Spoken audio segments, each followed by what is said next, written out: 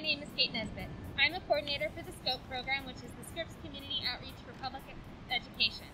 We're an outreach and education entity based here at Scripps Institution of Oceanography at UC San Diego.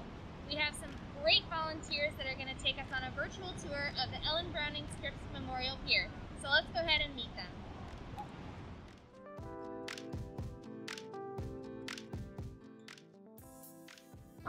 Everyone, my name is Vanessa ZoBell. I'm a third year PhD student in the Scripps Whale Acoustics Lab, and I'm a volunteer for SCOPE.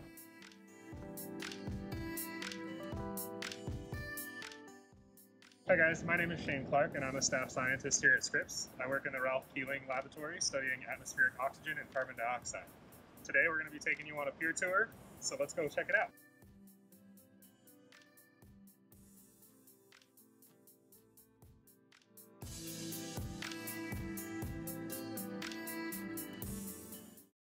In 1903, a zoologist by the name of William Ritter, working out of UC Berkeley, was searching for a place along the California coast to start a marine research station. A group of local San Diegans who were determined to have him choose San Diego as his research site formed the Marine Biological Association of San Diego and named Ritter the scientific director. For the first few years, they were operating out of an old boathouse at the famous Hotel del Coronado. But in 1905, the association moved to a small laboratory in La Jolla Cove called the Little Green Laboratory, which they constructed for just under $1,000. Finally, in 1907, with financial support from local philanthropists E.W. Scripps and his half-sister Ellen Browning Scripps, the current Scripps property was acquired. Ellen and her brother also funded the construction of the first Scripps laboratory, its iconic pier, and, and William Ritter's residence.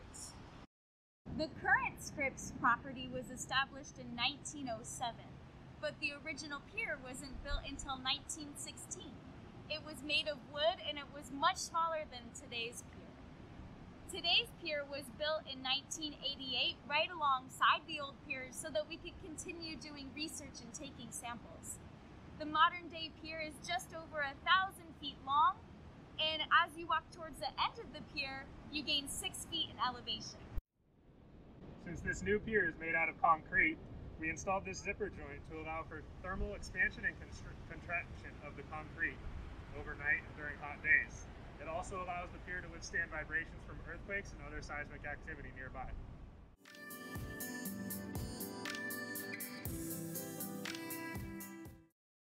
The first thing that we see here is the Scripps Pier Cam.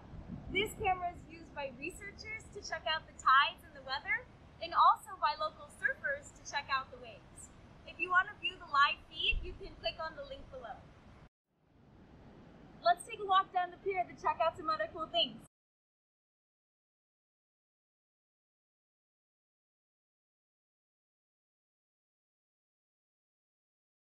One of the main aspects of the Scripps Pier is our seawater system. We pump a million gallons of water a day off of the Scripps Pier through our filter system and up to our research aquariums at Scripps, like the Hubbs Aquarium and the Birch Aquarium, so that we can conduct research with the animals housed here at Scripps.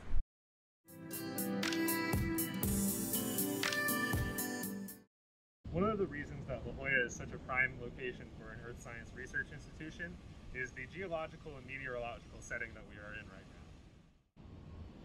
To the south, we have Mount Soledad, which is formed by the Rose Canyon Fault, a strike slip fault, and that fault extends offshore, underwater, creating the La Jolla Marine Canyon. That marine canyon starts around 200 meters offshore at 60 feet depth and extends all the way to the continental shelf at around 3,600 feet depth. To the north, we have these awesome sandstone cliffs that eventually will turn into limestone cliffs as we move north towards Torrey Pines State Beach.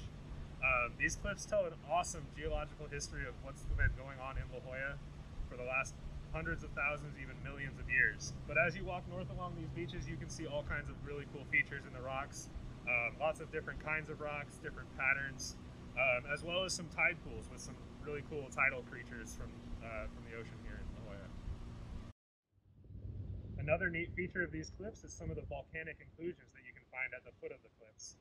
Volcanic inclusions happen when magma rises up inside of existing land rocks and melts away the inside of those rocks until it solidifies and cools, and then eventually those sedimentary rocks above it will erode away, exposing the igneous rock below it.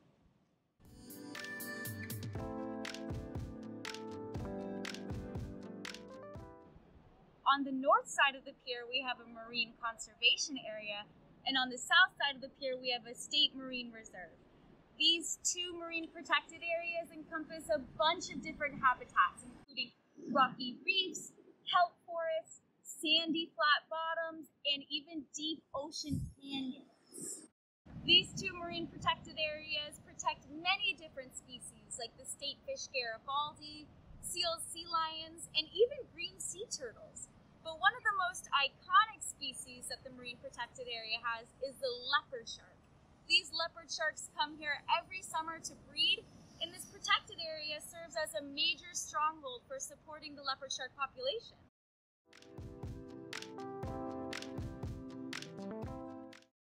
To my right is one of our coastal observation stations for weather and meteorological data. This station tracks temperature, wind speed, wind direction, barometric pressure, humidity, and precipitation amounts. Um, this is very important information for scientists who are doing observational work out here on the pier, um, including my lab, which depends on having a strong onshore breeze of mostly background air from the ocean. Um, so I will check the weather out here to make sure that the wind is coming in the right direction before I come out and take a sample.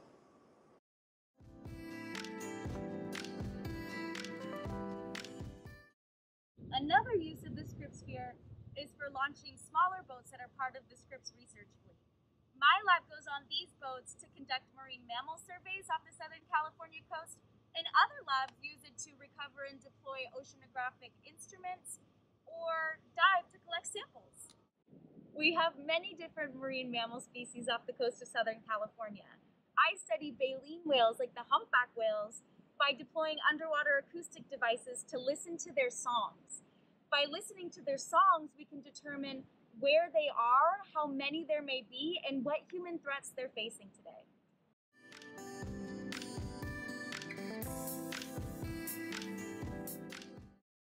Another cool feature here on the pier is the automated Scripps plankton camera, which is a microscopic camera that automatically calibrates the focus to take pictures of plankton floating past the lens. One use for this camera is to identify blooms of phytoplankton offshore, such as the dinoflagellate bloom we had this summer that created some really interesting bioluminescence in the tidal zone. We could access that feed from the comfort of our own homes at the website below, which helped us to do some interesting science during the global pandemic.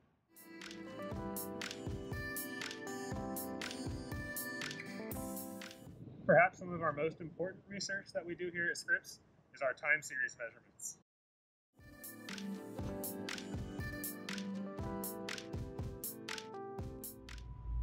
One of the longest records here at Scripps is maintained by the Shore Stations Program, which collects surface water samples for temperature and salinity data at stations all over the West Coast, from as far north as Washington State to down south here in La Jolla.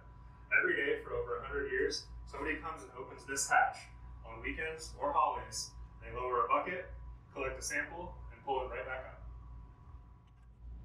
These samples are analyzed for temperature and salinity data which helps us to learn more about the nature of ocean seasonality offshore, as well as understanding some of the recurring phenomena that happen, such as an El Nino.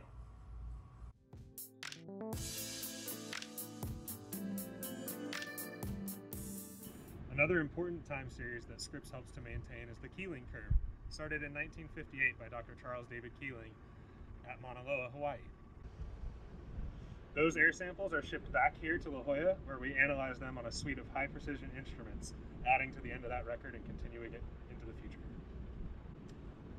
In addition to those weekly and bi-weekly flask samples, we also take continuous measurements on less precise in situ instruments, like we have here in La Jolla as well as in Mauna Loa, which I use to generate the daily Keeling curve tweets on Twitter. While my lab looks at the larger constituent gases, such as oxygen and CO2 in our atmosphere, other labs look at these smaller concentrations. One such lab is the AGAGE lab, which stands for the Advanced Global Atmospheric Gases Experiment. AGAGE measures regulated compounds and things that have a very high greenhouse gas potential or have a very long residency time in our atmosphere, meaning they don't come out of the atmosphere very quickly. So these these compounds like CFCs, chlorofluorocarbons, or HCFCs, hydrochlorofluorocarbons, as well as other particulate matters and sulfates, are all regulated on a global scale. And these chemicals are products of industry, so monitoring them is a good thermometer for telling us how we're doing on greenhouse gas emissions as a globe, not just as a nation. In addition to these time series, many other labs at Scripps use the pier for their own research activities.